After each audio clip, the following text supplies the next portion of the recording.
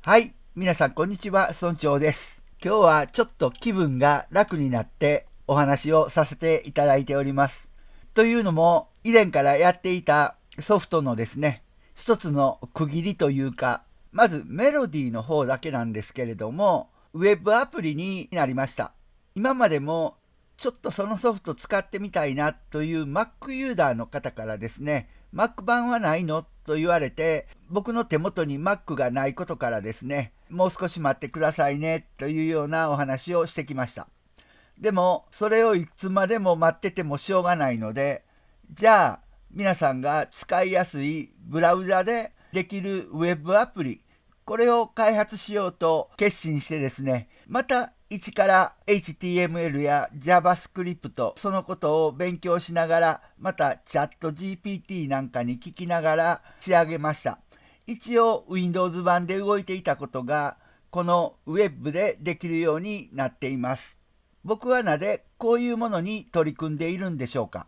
今現在このツールというのはいわゆる提案ツールです。完成品を作るものではなくって、少しメロディーのアイデアが欲しいな。皆さんは何かのネタをどこかから仕入れながら、もしくは過去の経験からなど、そういうようなところから全ての音楽というものはできています。ですから、生演奏じゃないと音楽じゃないという方から DTM の基本的な打ち込みをしてこれが音楽だという方もいますし、いろんなプラグインを使ったり、そしてここに来て AI を取り入れるというようなことが徐々に進んできています。例えば一番顕著なのはシンセサイダー V のような歌声。これはですね、歌える人からしたらなんであんなもの使うのよというふうなお話があるんですけれどもでも歌えない人からしたらそれはとっ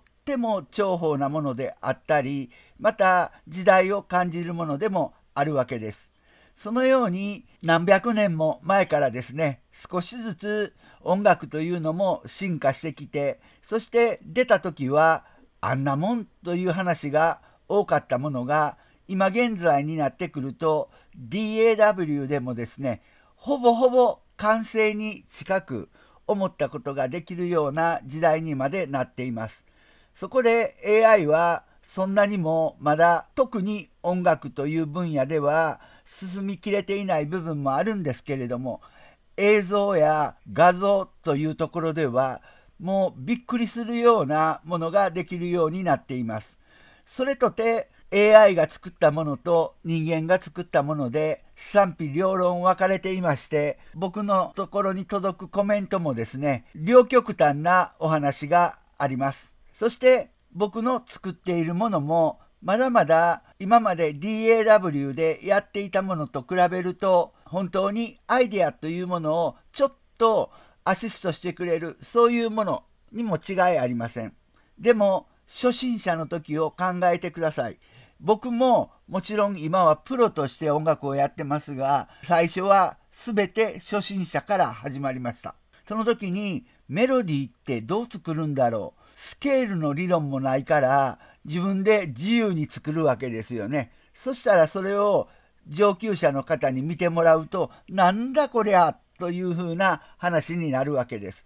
そういう人たちにもやはり音楽を作る楽しみそれができたらいいな。僕の理想はそこにあります。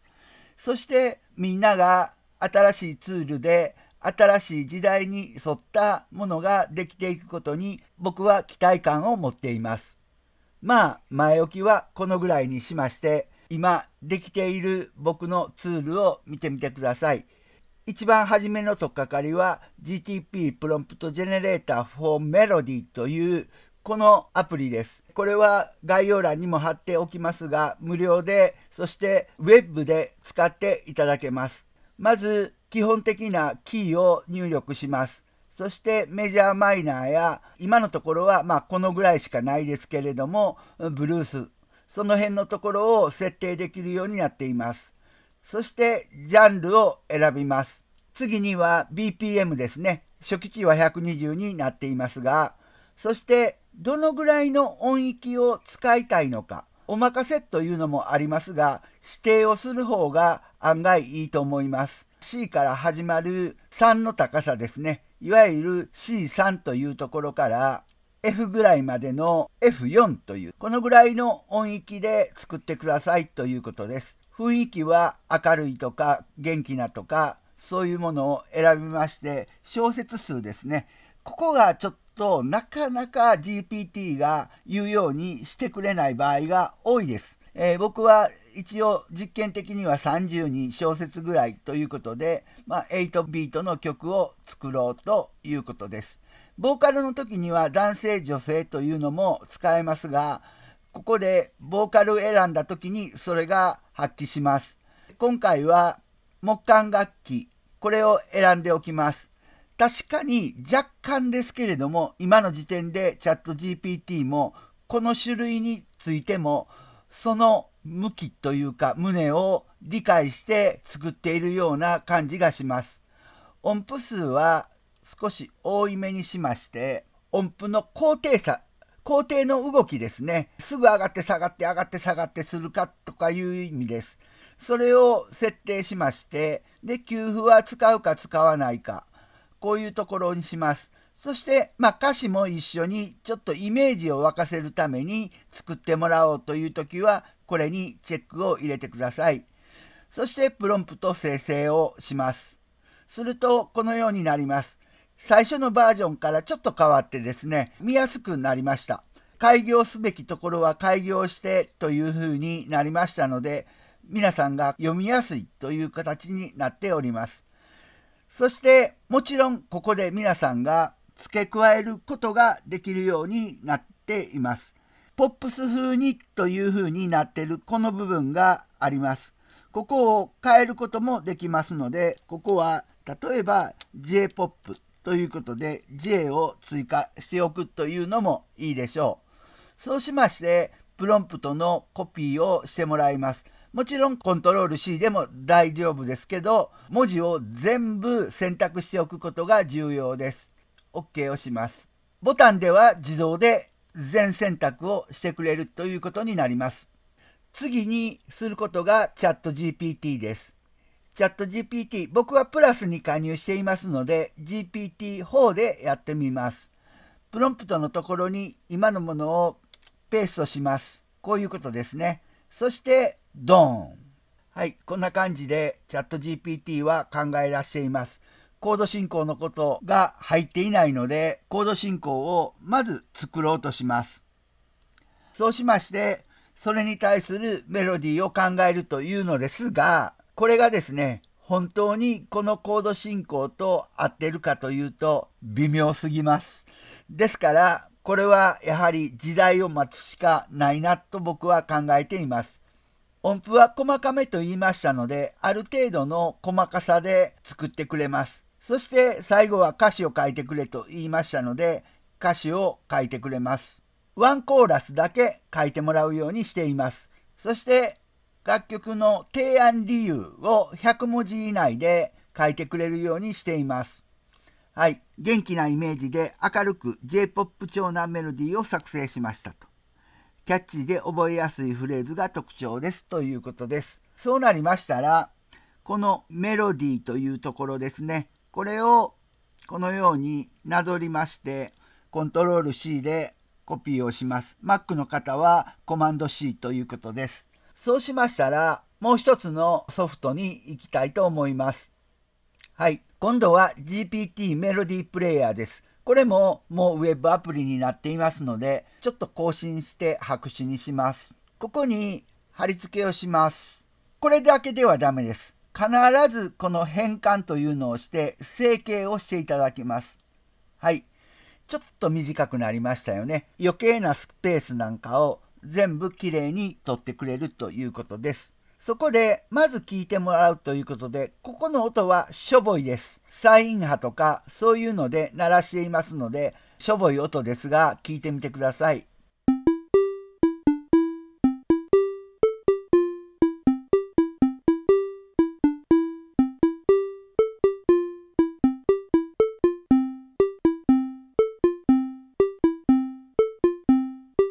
まあ、こういうようなメロディーを考えました。まあ、これが僕はまだまだ50点だと思うところなんですね。すっごくいいかと言われると、僕もプロの仕事をしている音楽のプロですので、これが100点とは全くもちろん思っていませんが、でも、アイデア一部使えるところとかいうのはあるなと。そしてこれは何度かやると全く違うものが出来上がるということになります。先ほどのプロンプトをもう一度全く同じ状態でコピーをしてそしてこちらに貼り付けてもらいます。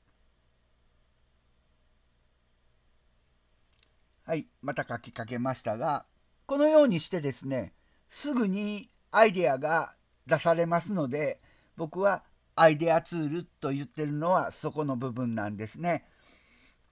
僕が言いましたフォーマットこれを村長スタイルコードと呼んでるんですけれどもこれでちゃんと書いてくれるようになります。そうしましてこれを選択します。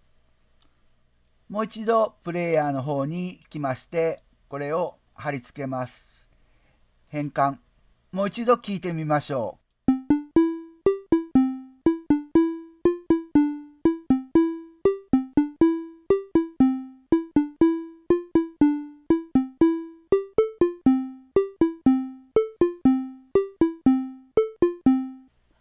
はい。そのようにしまして、Save as MIDI というボタンがありますので、ここで MIDI のファイルとして保存してもらいます。はい。どこに保存するかというのが出てきたり、皆さんの場合はダウンロードホルダーに自動的にダウンロードされる場合があります。そしてもし同じ名前のメロディー .midi というのがありましたらここにもありますように順番に番号がついていきます。今回は4という番号です。ここに4という MIDI ファイルができています。今度はスタジオ1をちょっと立ち上げてみたいと思います。一旦これは消しておきましょう。そうしましてこれをドラッグドロップします。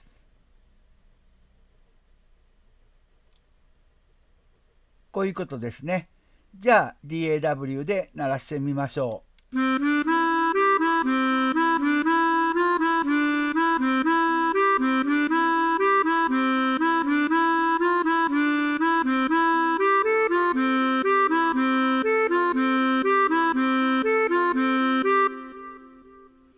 はい。まあ、ちょっと単純な感じですけれども、流れとしてはこんな感じです。ぜひ無料ですから、そして Mac ユーザーの方も全て使えますので、一度試してみてください。そして DAW ができる方は、このように編集が効きますのでですね、ちょっとこれをどうやってみようかなとかですね、いうのをやればですね、そしてこのようにちゃんと小説を食ってるものもあります。また、頭が揃っているものもありますので必要な部分を例えばここ良かったな最後のとこというようなところですね最後の音だけちょっと伸ばしておきますが。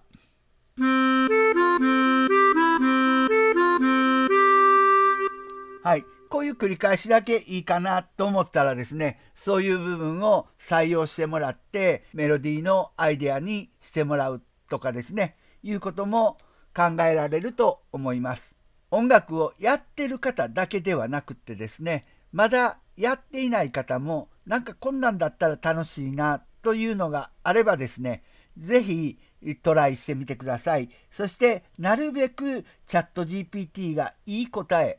それを導き出すようにですね、できましたら、このプロンプトをですね、よりいいものに皆さんの方で編集をしてもらったりしてですね。そしてまあ気をつけないといけないのはこの下の方にこういう形式で出してくださいみたいな僕の呪文ですね。村長スタイルコードを出すように設定していますのでその部分はあまり改変すると良くない結果が返ってくる。そういう場合がありますので気をつけてください。じゃあ皆さんに少し新しい未来を覗いていただきました賛否両論あると思いますが僕はこういうことで AI を取り入れる新しい試み、これ自体は世界でも初のようなので、頑張って挑戦していきたいと思っています。村長でした。まったね